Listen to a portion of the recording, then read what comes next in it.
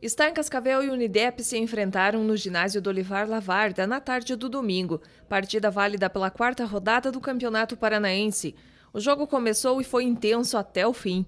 O visitante saiu na frente, Grace empatou, Stein marcou o segundo gol. Foi um jogo de sete gols. No segundo tempo, as equipes marcaram mais quatro. A partida terminou com a vitória do time de Cascavel, Stein 4, Unidep 3. O time de Pato Branco volta a jogar pelo Paranaense no dia 6 de junho, uma terça-feira, na sua casa. Recebe o Londrina Futsal, partida agendada para as 20 horas.